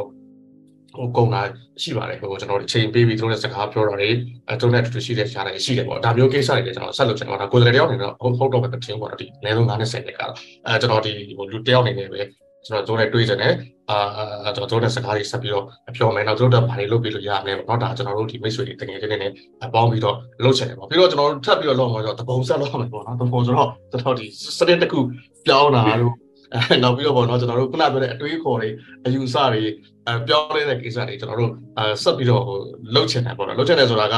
ဥပမာကျွန်တော်တို့ဒီဒီနိုင်ငံရေးသက်စာဝင်တော်လေးကိုကျွန်တော်နည်းနည်းတော့တပုံဆန်တယ်ပေါ့နော်ဒါပေမဲ့ အာတခါတလေမှလည်းဟိုအပြောင်းလဲဆိုရင် technically ပြောလို့မရတော့ဘူးเนาะဟိုအချိန်တစ်ခုယူပြီးတော့တစ်ဆယ်ချင်းပြောရတော့ရှိတယ်ပေါ့ကျွန်တော်နောက်ပိုင်းမှာဆိုကျွန်တော်ဒီကိုယ်လည်းဆိုရဲ definition ကျွန်တော်ပြောင်းနိုင်ဖို့စူးစမ်းခဲ့တယ်ပေါ့နော်ဘာလို့ဆိုကိုယ်လည်းဆိုတာကြီးကသိတယ်မလားဟိုတိုက်ပုံကြီးဝင်မယ်ပြီးတော့ကျတော့ပွဲပါမယ်အဲ့ဒါမယ်ပြီးရင် ပြီးရင်သိရမှာဟိုဒုပညာမှာလည်းရှိပါတယ်ဟိုကပြောခဲ့တာစကားကြီးစကားကြီးပြောတဲ့ကိစ္စပေါ့နော်နိုင်ငံရေးဆိုတာဘာလို့ပြောလားဟိုကြီးကြီးကြီးကြီးပြောဟိုပြီးတော့ဒုပညာကဘာစစ်ဆိုတော့မှဒုပညာဘာဆိုတာမလုပ်ဘူးသိတယ်မလားဒုပညာဆိုတဲ့ဟာကြီးကြီးကြီးပြောဒုပညာကမဟုတ်တော့ကျွန်တော်နားလည်တာတော့အဲ့ကိုပါအဲ့ကိုတော့ပေါ့နော်တကယ်တကယ်တော့ပနေချင်းကြီးအကြီးကြီးပွင့်ပြတာပေါ့နော်နိုင်ငံရေးမှာလည်းကျွန်တော်သိတာတော့လက်တွေ့ကြကြဖြစ်ဖြစ်မြောက်လုပ်နိုင်တယ်သူကရိုးရိုးရှင်းရှင်းနားလည်ပြောတယ်သိရမလားဟိုဘေးသမိုင်းတွေတိတ်ပုတ်ဖဲ့ဘူးပေါ့နော်ဟိုတကယ်လက်တွေ့ကြကြဟိုတိုင်းပြည်ကောင်းအောင်မလုပ်နိုင်မလဲကိုမဲစနာနဲ့ကိုမလု ပ်နိုင်မလဲပေါ့နော်ဟိုဟိတ်ဟန်တွေကဟိုလိုအပ်တဲ့ပိုလုံးတယ်လို့ကျွန်တော်မြင်တယ်ပေါ့ဗျာဟိုအဲ့တော့ကျွန်တော်နောက်ဆုံးတစ်ခါမဲဆွဲဆိုတော့ဟိုကြိုင်ကားတွေမောင်းပြီးတော့ဟိုမလုပ်တာတော့ပေါ့လုပ်ခဲ့တာရှိတယ်ပေါ့နော်ဘာလို့လဲဆိုဟိုကျွန်တော်တို့ဟိုဖြစ်တာက တိုက်ပြီဘယ်လောက်ထိရိုးပြနိုင်ပါလဲဘယ်လောက်ထိသူရိုးသားပါလဲရိုးသားတယ်ဆိုတာဟိုတိုက်ပုံဝဲလို့ရိုးသားတယ်လို့ပြောလို့မရအောင်ညာကျွန်တော်ပြောတာအကုန်တော့ဒါဒါဟိုလေဖို့အတွက်အယောင်ဆောင်ထားတာကျွန်တော်လက်ခံလို့မရဘူးပေါ့နော်အဲ့တော့ဟိုအဲ့လိုမျိုးအပြောင်းလဲတွေလုပ်ချင်တယ်နော်လူငယ်နိုင်ငံရေးသမားတွေကိုကျွန်တော်မွေးထုတ်ချင်တယ်ပေါ့နော်ဘာလို့ကျွန်တော်တို့ကျွန်တော်တင်တယ်ကျွန်တော်တို့ OB တင်တယ်ပေါ့နော်တကယ်တကယ်ပြောဒီထက်ကျွန်တော်တို့ထပ်ပို့ပြီးတော့နုပြိုတဲ့အဲလက်ဆက်တဲ့ပို့ပြီးတော့ထူးချင်တဲ့မျိုးဆက်တခုပေါ်ထားဖို့လိုတယ်ပေါ့ဗျာတော့ဒါဒါဒါကြီးကဖြစ်အောင်ကျွန်တော်ကလုပ်အောင်မလုပ်နိုင်ကျွန်တော်ညံ့လို့ပေါ့ဗျာဟိုကျွန်တော်တစ်ခါကျပြောတာရှိတယ်ဟာမင်းတို့လူငယ်တွေကမင်းတို့လူငယ်တွေကတော့မကြဘူးအာငါတို့လူကြီးတို့မပြီးဘူးဆိုတော့ကျွန်တော်တကွက်မဲ့ပြောချင်တယ်ကမလူကြီးတွေတော့မကြလို့ပေါ့ဗျာတော့ဒါဆင်းရှင်းလိုက်ပါကိုတက်တော်တဲ့မျိုးဆက်ကိုဝေးပတော့တိုင်းညံ့လို့ပေါ့ရှင်းလူကြီးမျိုးဆက်ကဒီလိုပဲဒီလိုပဲရှိမှာပေါ့နော်အဲ့တော့ကျွန်တော်တို့ကတော့နောက်တဲ့မျိုးဆက်တခုမွေးတော့မယ်ကိစ္စတွေကျွန်တော်တို့လုပ်ရမယ်ပေါ့နော်ဘာလို့တိုင်းပြည်ဆော်ကြီးကအရန်ကိုအရေးကြီးတော့မယ်ကာလာရှိတယ်အဲ့တော့ဟိုကျွန်တော်တို့ဒီဟာဒီဟာကိုပို့ပြီးတော့ဦးစားပေးခြင်းတယ်ပေါ့နော်ဟိုကျွန်တော်တို့တစ်ခါကျပြောတာရှိတယ်ငါမရှိမဖြစ်ဘူးဆိုတော့ကျွန်တော်မြင်တော့ငါမရှိမဖြစ်ညံ့လို့ပဲပေါ့နော်မရှိလည်းဖြစ်အောင်ဖြစ်အောင်ကျွန်တော်တို့လုပ်ကိုလုပ်ရမယ်ပေါ့အဲ့လိုအဲ့လိုမျိုးဆက်မျိုးတွေကျွန်တော်တို့အာမွေးထုတ်ဖို့ ကျွန်တော်လုပ်ချင်တယ်လုပ်တဲ့ခါမှာလည်းပေါ့နော်ဟို power politic ကတော့ကျွန်တော် color type တစ်ခုကတော့အဲကျွန်တော်နားချင်တယ်ဘာလို့လဲဆိုတော့ power politic ကိုပိတ်မိပြီးတော့အကွက်ကိုဘောင်ခတ်မိပြီးတော့ပေါ့နော်အဲဟိုပါပေါ့ဒီထဲမှာပဲနစ်မြုပ်ပြီးတော့ပြန်အဝေးကနေပြန်ကိုကိုကိုတော်လည်းကောင်းပေါ့နော်အဲလုတ်နေတဲ့ဒီ trend တစ်ခုကိုလည်းကောင်းမကြည့်ပြီးပဲနဲ့နစ်မြုပ်နေတယ်ပေါ့တဲ့တော့အဝေးကနေခွာပြီးတော့အဲပြန်ကြည့်ချင်တယ်အဲပြီးတော့ကျွန်တော်တို့ဒီဘောကတိတ်တိုလုံးနေပါတော့ဒီအချိန်မှာကိုလုတ်ချင်တဲ့ကိစ္စရလေးရှိတယ်ဒီတော့လည်းကျွန်တော်အချိန်ပေးချင်တယ်အဲ့တော့ကျွန်တော်ကြောင်းပြန်တက်ချင်တယ်အဲကျွန်တော်တနေ့နဲ့လောက်ပေါ့နော်ကျွန်တော်နိုင်ငံသားကြောင်းကောင်းတော့တစ်ခုမှသွားတက်ပြီးတော့ကျွန်တော် experience တစ်ခုထပ်ယူချင်တယ်အဲပြီးတော့ကျွန်တော်ဂီတာတို့လူပညာတို့နည်းနည်းပြန်ဖန်တီးတဲ့ဘိုင်းပေါ့နော်စာရေးတာတို့ကျွန်တော်အချိန်နဲ့လည်းပြန်ပေးချင်တယ်အဲဟိုမှာဂီတဆိုကျွန်တော်လှုပ်ချင်တာတွေရှိတယ်ပေါ့နော်ဟိုမှာအာကျွန်တော်ဒီ fans music လို့ဟာမျိုးဆိုရင်မြန်မာနိုင်ငံမှာတော်တော်လေးကိုမလုပ်ကြသေးဘူးပေါ့နော် fans page မှာကောင်းကောင်းတယောက်နဲ့ အဲ့လို fast music လို့ fan ကြီးတာမျိုးလို့ဟာမျိုးတွေဟိုဟို rock hot rock hot တွေအဲ rock hot လို့ဟာမျိုးတွေဟုတ်တယ်ဟုတ်တယ် rock hot လို့ဟာမျိုးအခုအခုလုံးလိုက်တော့3ယောက်ရှိတယ် against တ the မန်လုံးလိုက် machine တော့လို့ကတော့ဟုတ်တယ်ဟုတ်တယ်အဲ့လိုအဲ့လိုပုံစံမျိုးပေါ့နော်အဲ့လိုပုံစံမျိုးတွေဟိုနောက်ပြီးတော့ဟိုလေးဟိုစာသားတွေကိုလည်းသိရမလားဟို surrealism စံတဲ့ဟာမျိုးတွေလေသိတယ်မလားဟိုကျွန်တော်တို့ဟိုတူတူတူတကယ်ကိုထူးထူးခြားခြားပေါ့နော် surrealism ဘက်ကိုရောက်တဲ့စာသားတွေတို့ဘာလို့ကြတော့လဲအဲ့လိုမျိုးထူးထူးခြားခြားဖကျွန်န်တော်လည်းကျွန်တော်လည်း fight လိုက်တယ် ဟမ်ကျွန်တော်လည်း fight လိုက်ဟုတ်နေဟုတ်နေဟုတ်တယ်ပြီးမှကျွန်တော်ပို့လိုက်ဝင်ကိုယ်တိုင်ပြောကျွန်တော်ကတပုတ်ရှိရ fan လောက်တာဒါပေမဲ့ fan ကိုကျွန်တော် rock နဲ့ရောပြီးလောက်တာတော့နည်းနည်းပုံစံတော့မတူထူးထူးဆန်းဆန်းလောက်တာရှိတယ်တပုတ်ရှိရတော်တော်လည်းပြန်ပြန်ပြီးချင်းစိတ်ပိုပေါက်လာတယ်အေးတော်လိုက်ပြီးတချင်းလုံးမယ်ဆိုတော့တော့မပြောဘူးဘယ်လောက်ပြန်ဇောကတ်နေလဲ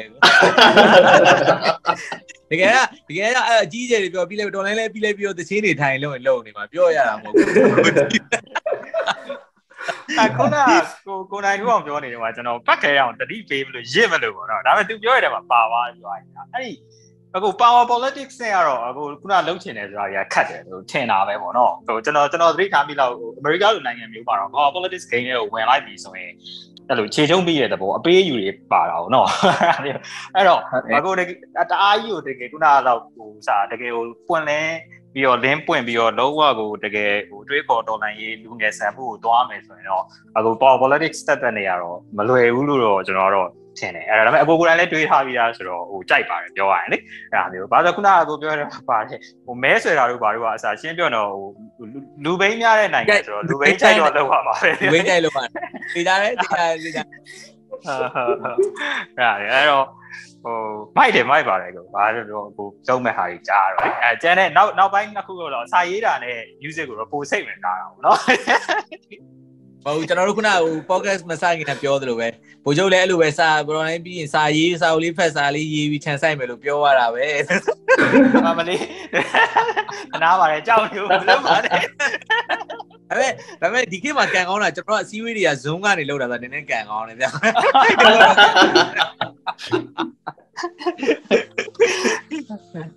အဲကျွန်တော်လုပ်ချင်တဲ့ဟာလေးတခုတော့အခုအကိုတို့ပြောနေတယ်မှာသွားပြီးတော့ပါတယ်ကျွန်တော်အဲ့လိုပေါ့တကယ်တော့ကိုဗစ်မှာလည်းကျွန်တော်တို့စပြီးတော့စလုပ်နေတဲ့ဟာလေးရှိတယ်အဲ့ဒါပါလဲဆိုတော့ book cafe ဆိုတဲ့ဟာပေါ့နော်အဲ့လိုစာစာအုပ်ဖတ်ပြီးတော့ဒီက coffee AC ထိုင်တောက်ချင်တဲ့လူတွေအတွက်ပေါ့နော်ဟိုစလည်းနည်းနည်းတော့ rank ခဲ့ပါတယ် rank ခဲ့ကျွန်တော်အဲ့မှာကျွန်တော်တို့ကဟို acoustic ထားမယ်ပေါ့နော်ဟိုဥစားအဲ acoustic တီးတန်း amplified တီးတန်းပုံစံပဲအဲပြီးရင်ကျွန်တော်ဖြစ်ချင်တာအဲ့ဒီမှာကြပြားသမားတွေရှိမယ်စာသမားတွေရှိမယ်အဲပြီးရင် music ကိုဟို perform တက်တက်လုပ်နေတာမဟုတ်တဲ့ဟိုဟို create လုပ်နေတဲ့လူတွေပေါ့နော်အဲပြီးရင် band ထဲမှာမှတိတ်နိုင်မယ်မရှိသေးပေမဲ့အဲသူကသူ raw တအားဖြစ်ပြီး raw ဖြစ်ပြင်ဖြစ်မယ်ဟိုဒါပေမဲ့ mic တယ်ဆိုတဲ့ဟာမျိုးတွေပေါ့နော်အဲ့လိုလူတွေလာစုံမယ်ပြီးရင်သူတို့အဲလိုတီးကြရှိရတီးမယ်ပြီးရင်စကားတွေပြောကြမယ်ဟိုထိုင်ကုန်နေတဲ့တော့မဟုတ်ဘဲနဲ့ဗျာကျမ်းမြေမှာထိုင်နိုင်မယ်ပေါ့နော်အဲ့ဒါလေးအဲ့လိုမျိုးနေရာတစ်ခု space တစ်ခုကျွန်တော်အရန်လုံးချင်ခဲ့တာရှိရပြီလားအလုံးဖြစ်ရင်တော့အကိုတို့တယောက်ကုန်မရတော့မယ်စကားသာပြောပါဒါမှမဟုတ်လေတချင်းလာစူပါဆိုပြီးတော့နော်ကြိုပြီးပိုကင်ချိတ်တာလားရကိုလင်းနဲ့ကိုလင်းနဲ့ကတော့နေရကနေလေးခံပြီးခေါ်ရမယ် ဘာအဲ့ဒါတစီအဲ့ဒါတစီဆက်ပြောပါဦးကိုရှိသေးဟုတ်အော်မရှိတော့ဘူးတွေတို့တော့ဒါမှမဟုတ်တော့များတယ်ခုနကခုနကတော့လေခုနကတော့လေတော့တော့မှလုံးပေါ်လုံးပေါ်ကျဆရာပြောဆရာပြောအားမငယ်တဲ့တော့ဟိုအဲ့ဟို fact fact မှာဆို rapping နဲ့တက်ဝင်ရှိနေတာဟုတ်နော်ဟုတ်တယ်ဟုတ်တယ်ဖတ်မှာဖတ်မှာပဲဝေးဝေးလို့ရတယ်ပဲ range can the machine လို့ rapping ဝင်ရောလဲလား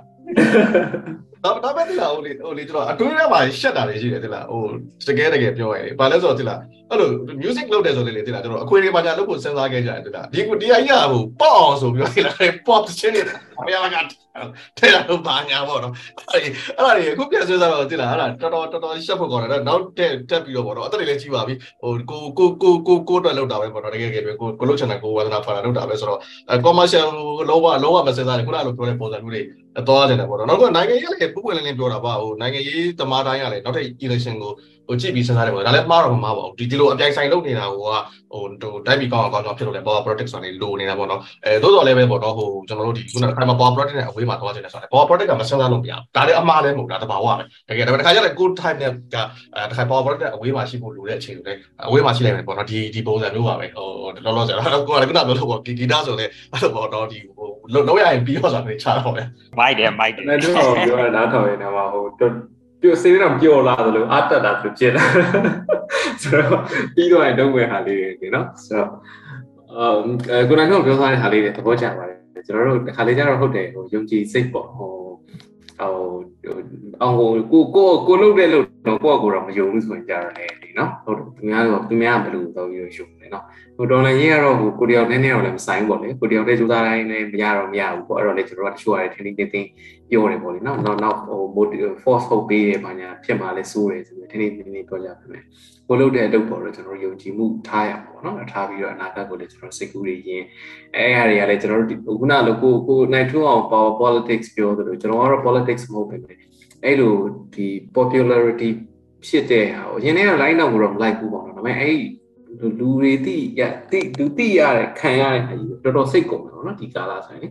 ဘာလို့ရလို့တော့မဟုတ်ဘူးနော်အဲ့ဒါတွေကလည်းဟိုအဲ့ဒါဘယ်လိုပြောရမလဲတချို့ရှိကြတယ်နော်ဟိုရန်အောင်မြင်နေတဲ့ဟာကြီးကနေ retire ယူလိုက်တယ်လို့ ဟိုပတ်စံအရင်ချမ်းသာနေရစီးပွားရေးစပ်မလုပ်တော့ဘဲနဲ့ဟို foundation ကိုလှူလိုက်တယ်ဟိုဘေးလူတိုင်းကအဲ့ဒါကြီးကိုလူချင်နေတဲ့အချိန်မှာရရနေတဲ့လူကစိတ်ကုန်ပြီးတော့ဟိုဟိုလွတ်စွန့်ပြလိုက်တဲ့ဟာမျိုးကြီးဆိုသိနားမလည်ကြဘူးနော်ကိုယ်တိုင်ဆိုတော့ဟဲတဲ့ဘယ်လိုဘယ်လိုဖြစ်တာလဲနော်ဆိုတော့ဟိုအခုကျအဲ့လိုတော့အောင်မြင်နေရတော့မဟုတ်ဘူးနော်ဒါပေမဲ့အဲ့လိုအဲ့လိုဖြစ်လာတဲ့ဟာတွေရှိတယ်ရှိတော့စွန့်ခွာမဲ့ဟာတွေအများကြီးပေါ့နော်ဒီကလာပြီးသွားလို့ရှိရင်အဲစိတ်ကုန်လာတဲ့ဟာတွေရှိရဲအဲ့လိုစွန့်ခွာပြီးတော့ကျွန်တော်တို့ ဘဝတွေကဟို2021နဲ့မတူတော့ဘဲနဲ့အဲအရင်တည်းကလုံနေကြတာတွေလည်းပြန်သွားတာလည်းရှိမယ်ပေါ့နော်တချို့မတူတော့မှလည်းကျွန်တော်အသက်လုံမဲ့ဟာတွေလည်းရှိမယ်ပေါ့လေအဲ့ဒါတွေကတော့ဒီကာလအတွင်းကကျွန်တော်တို့ပေါင်းလဲသွားတဲ့အရာတွေပေါ်မှာမူတည်ပြီးတော့ဖြစ်လာတဲ့အရာတွေကိစ္စတွေပေါ့နော်ဆိုတော့ဟုတ်ကဲ့အဲ့တော့ကျွန်တော်တို့တွေအာဒီ podcast တွေမှာ၃ပိုင်းအထိပေါ့နော်ပါဝင်ပြီးတော့ အပိုင်းလေးလေးပါလေးသွားမယ် music အကြောင်းလို့နော်နော်နောက်ကြောက်ဟာနောက်နောက်ကောင်းတစ်ခုနဲ့သွားကြမယ်ဆရာတို့တော့ပြောပြောပြောနော်ပြောသေးလေးဆိုတော့ပါဝင်ပြချတဲ့အဲကိုနေတူအောင်ပစင်စီကိုလေးနဲ့တူကိုအဲကျေးဇူးတင်တယ်ဟိုနောက်ဆုံးအနေနဲ့ကိုကိုကိုတို့တခုခုအဲပြောပြောမှာနောက်ဆက်စကားပဲဖြစ်ဖြစ်အားပေးစကားပဲဖြစ်ဖြစ်ပေါ့နော်အပိအနေနဲ့တော့ဟို ဒီဒေါ်လာရေးနဲ့ပတ်သက်တဲ့ကိစ္စတော့ကျွန်တော်တို့လည်းဒေါ်လာရေးပြီးရင်ဘာလုပ်လဲဆိုတော့တွေးနေကြတယ်ဆိုတော့ရှင်းမပြောရတော့ဒေါ်လာရေးနိုင်မယ်လို့ယုံကြည်နေလို့ပေါ့အဲ့လိုပါပဲဟိုကျွန်တော်တို့ဒီ podcast ကိုနားထောင်နေတဲ့အဲသူတွေမှလည်းဟိုကျွန်တော်တို့ဒီအိမ်မက်တွေရှိကြပါပါတရားတွေအတွက်လည်းဟိုကျွန်တော်တို့တွေအတွက်ဒေါ်လာရေးပြီးရင်လုပ်မယ်ဆိုတဲ့အိမ်မက်တွေနဲ့လည်းဆက်လက်ပြီးတော့လည်းအဲစံတန်စီကြတော့ဗျာကျွန်တော်တို့ကိုယ်တိုင်လည်းဟိုဒါတွေနဲ့ဆက်တန်နေတာဖြစ်တယ်ဒါယုံကြည်ရတယ် ဖြစ်တယ်ပေါ့ဟိုကျွန်တော်တို့အတွက်တော့နောက်တစ်ခုတော့ဒီဒေါ်လာရေးဆိုတာကတော့ဒီပေးဆက်ရတယ်အများကြီးရှိတယ်ပေါ့ဒါပေမဲ့အဲကျွန်တော်တို့မတွေးဘူးတဲ့အမြင်တွေကျွန်တော်တို့ကကျွန်တော်ပြန်သုံးသပ်ဖို့မတူညီတဲ့အမြင်တွေဘက်ကမြင်ဖို့တော့လည်းခွင့်ရဖြစ်သွားတာပေါ့နောက်တစ်ခုကတော့ဒီအိုနေတဲ့အင်ဂျီဖြိုချပြီးတော့အသက်ပြန်ဆောက်ဖို့လည်းအခွင့်အရေးတစ်ခုလည်းဖြစ်တာပေါ့ဒီကြော်ဖြတ်တဲ့ကာလာကဟိုခါးသီးမှုတွေနာကျင်မှုတွေကလည်းဟိုကျွန်တော်တို့သင်ခန်းစာတွေဖြစ်တယ်လို့ဟိုကျွန်တော်တို့ဒီပြန်လည်တိဆောက်ရေးမှာလည်းပေါ့နော်ဒီရအတွေ့အကြုံတွေအများကြီးပြန်ပြီးတော့တုံးချပြီးပိုကောင်းတဲ့ဟို ကဘာတစ်ခုတိဆောက်ဖို့အတွက်တော့အခွင့်အရေးရလာနိုင်မယ်လို့အဲကျွန်တော်ယုံပါတယ်ဒါနိုင်ငံတစ်ခုအတွက်လည်းဖြစ်တယ်လို့လူတိုင်းအတွက်လည်းအခွင့်အရေးတစ်ခုလို့တော့လေကျွန်တော်တို့မြင်ပါတယ်ဟိုဒီလိုပြောတဲ့အတွက်ကြောင့်လည်းဒီဒေါ်လာရေးမှာနာချင်ရတွေကိုပြည့်ရထူတဲ့သဘောမျိုးတော့မဟုတ်ဘူးပေါ့ဒါပေမဲ့ဘာပဲပြောတော့ဟိုဒီကဘာကြီးကအစိုးဆုံးဆိုတဲ့ຢာတွေဖြစ်နေတယ်ပိုပိုကောင်းတဲ့နေရာတခုတော့ရောက်သွားတဲ့တဲ့သဘာဝသဘာဝရှိပါတယ်ဒါလည်းဟိုကျွန်တော်တို့အတွက်အစိုးတွေပေးဆက်ဆရာတွေအများကြီးရှိသလိုကောင်းဖို့အတွက်လည်း အပြောင်းလဲတစ်ခုလိုပဲကျွန်တော်မြင်ပါတယ်ဒီလိုယုံကြည်လို့လည်းကျွန်တော်တော်နိုင်ရေးလုပ်နေကြတာပေါ့တော်တော်လေးမှပေးဆက်မှုဆိုတာရှိပါတယ်အသိထားပေးတာဖြစ်တယ်ဆိုတဲ့ကြောင့်မလို့အာကျွန်တော်တို့ဒီတော်နိုင်ရေးအလုံးလည်းဗာလေကျွန်တော်တို့ image တွေနဲ့ session တန်ဖို့ပါပဲအဲဒါကိုလည်းဟိုကျွန်တော်တို့ကလည်း image တွေရှိနေတယ်အနားထောင်နေသူတွေကျွန်တော် make sure တွေနေနေအားလုံးပါလေအဲကျွန်တော်တို့ဒီရှိနေမယ်လို့ပဲယုံကြည်ပါတယ်နောက်ဒီတော်နိုင်ရေးကနေတစ်ဆင့်ပေါ့နော်အားလုံးမှာမေတ္တာတရားတွေချစ်ချင်းတရားတွေပို့ပြီးထုံးကားဖို့လည်းမျှော်လင့်ပါတယ်ဆိုတဲ့အကြောင်းပဲပြောချင်ပါတယ်ဟုတ်ကဲ့ပါကိုနိုင်ပါကျေးဇူးတင်ပါတယ်အဲကိုစင်စေပြောပြီးမှာ ဟုတ်ဆရာထွေထူးတော့မရှိပါဘူးခုနကိုနိုင်တို့အောင်ပြောသားလို့เนาะကျွန်တော်တို့အာတချို့ကိစ္စတွေကြတော့ဘယ်လိုပေါ့ပြောရရင်တော့ယုံကြည်စိတ်တက်ယုံကြည်စိတ်ကိုပိုဦးစားပေးပြီးလုပ်ရတာရှိရပေါ့နော်ဟိုယုံကြည်စိတ်ဆိုတာလည်းထားပါတော့ဟို belief တက်တက်မဟုတ်တခါကျရင် fake ပေါ့ဘာသာရေးနည်းနည်းဆန်တယ်ပဲပြောရမှာပေါ့နော်ဟိုမှာ dollar ရေး100%အောင်မလားဆိုရင်100%တော့ဘယ်သူမှမသိဘူးဒါပေမဲ့100% အောင်နိုင်တယ်ဆိုတော့စိတ်နဲ့အလုပ်လုပ်မှခကြီးရတွင်ပါပေါ့နော်အဲ့လိုမဟုတ်ဘဲနဲ့ကြာရင်ကြတော့ဟိုရှေ့ရှေ့ဆောက်ဖို့ခွန်အားတိတ်မရှိတတ်ဘူးပေါ့နော်အဲ့တော့ဟိုကျွန်တော်တို့မြင်နေရတဲ့အချက်လက်တွေတက်တည်တွေရတယ်ကျွန်တော်တို့ကောက်ကိုချိန်ဝင်ရှာအများကြီးကိုကြီးကြီးမားမားပြောင်းလာတာရှိတယ် ကျွန်တော်တို့လိုနေတာကတော့ကိုနိုင်ထူအောင်လို့ပါလဲအမြဲတမ်းပြောနေပါဘောနော်ပတ်စံပေါ့နော်အဲ့တော့အဲ့ဒီမှာဒီ podcast ကိုနားထောင်နေနေပတ်စံရသေးခြင်း share ပေးပါ RCS လုပ်ပေးပါဟုတ်နော်ပြီးသွားရင်ဒါကျွန်တော်တို့တက်ဆိုင်ရာ campaign တွေမှာတက်နိုင်တော့ပါဝင်ပေးမပါဝင်ပေးနိုင်တော့အနည်းဆုံးဒီသတင်းတွေကိုကျွန်တော်တို့ဖြန့်ပေးပေါ့နော်အဲပြီး click နိုင်တဲ့လူအား click ပေးပေါ့နော်ပြီးရင်ဆရာဆရာဖြိုးလို့ပါအမြဲတမ်းပြောနေလို့ဝင်ငွေရာခိုင်နှုန်းတစ်ခုကိုလှူပေးပေါ့နော်ဒါကြောင့်ကျွန်တော်ဒီနေ့တောင်မှဟိုကြည်လိုက်သေးတယ်ပေါ့နော်ဟို AABB ကအများနဲ့ update တင်တာအောင်အဲ့တော့ဒေါ်လာရေးကာလာမှာ စစ်ကောင်စီကြောင့်ဟိုအသက်ဆုံးရှုံးသွားတဲ့လူတက်ဖြတ်ခံလိုက်ရတဲ့လူ3900ကျော်ပြီလက်ရှိချိန်ဒီဖန်ခံထားတဲ့လူက19000ကျော်သေးတယ်ပေါ့နော်အဲ့တော့ဟိုအဲ့ဒီအဲ့ဒီဆုံးသွားတဲ့လူတွေကတော့ရှင်းပြသူတို့တက်ကတော့ပြန်မရနိုင်တော့ဒါပေမဲ့သူတို့မိသားစုတွေအတွက်ဖြည့်သိမ့်ကြတခုရဖို့လိုတယ်ပြီးရင်လက်ရှိဖန်ခံနေရတဲ့လူတွေအဲ့လူတွေရဲ့ဘဝတွေပြန်လွတ်မြောက်ဖို့လိုတယ်ပေါ့နော်အဲ့တော့ဒါကရှင်းပြတော့ဟို ပင်ပန်းလာတိုင်းပေါ့နော်ဟိုနည်းနည်းလက်ရှောင်ခြင်းတလို့စိတ်ရှုပ်လာလို့ဖြစ်ပြီးတော့ပြစ်ချလိုက်ခြင်းလို့ဖြစ်လာတိုင်းမှာဒါတွေကိုကျွန်တော်တို့ကပြန်စဉ်းစားပြီးပြန်ပြီးတော့ဟိုအားယူပြီးတော့အားတင်ပြီးလောက်နိုင်တော့ကိုဆက်လုပ်အောင်ပါပေါ့နော်ဒါတစ်ဖက်မှာဆိုလိုတာတော့စိတ်ပင်ပန်းစရာတွေကလည်းတစ်ခါအခါကျအားယူလို့ရတယ်ပျော်စရာလည်းအားယူလို့ရတယ်ပေါ့နော်ဒါရှေ့မှာတော့ကျွန်တော်တို့တက်နိုင်တာတော့ပျော်စရာတွေနဲ့အားယူအောင်ပြောထားပြီးဆိုတော့ ဝင်ခုခုအခုအရရှင်းပြောတယ်စိတ်တော်နည်းနည်းညှက်သွားမလားမသိဘူးပေါ့နော်ကျွန်တော်ပြောလိုက်တော့ဒါပေမဲ့ဟိုဒီဒီဒီနာကျင်မှုတွေကပဲတစ်ခါကြိုင်တော့လေအေးအားပြန်ယူရတဲ့ဟာမျိုးလည်းရှိတယ်ပေါ့နော်ရှိတော့ကျွန်တော်တို့အဓိကကြံပေးချင်တာကတော့ဟိုအားတင်ထားဖို့အာဘယ်လိုမျိုးဟိုပဲလိုက်ကြည့်ကြည့်ပေါ့နော်တူရတူရလူကတော့တော့စုတာအဲ့ တော့အဲ့ဒီချိန်မှာကိုသွားစုပြီးတဲ့လူအုပ်စုမှန်ဖို့လိုတယ်ပေါ့နော်မဟုတ်ဘူးဆိုရင်ခုနလိုဟိုဒေါ်လာရေးကိုမလုတ်ချင်တဲ့လူအုပ်စုတွေကိုရောက်သွားပြီဆိုကိုကိုတိုင်းအိုက်စိတ်ကကူးဆက်မှာပေါ့နော်အဲအဲ့လိုပဲဒေါ်လာရေးကိုလုတ်ချင်အောင်ဆောင်တဲ့အုပ်စုတွေရှိတယ်ဒါကပြောရရင်ကျွန်တော်တို့ပေါ့နော်နည်းနည်းဟိုနည်းနည်းလေးတော်လိုင်းလောက်လာပြီးရင်တောင်မှဟိုလိုစပြီးတော့ခိုးလာတာတို့နည်းနည်းလောက်ပြီးများများပြောတော့တာတို့အဲအဲ့လိုအုပ်စုတွေရောက်သွားရင်တကယ်တကယ်တည်းဟို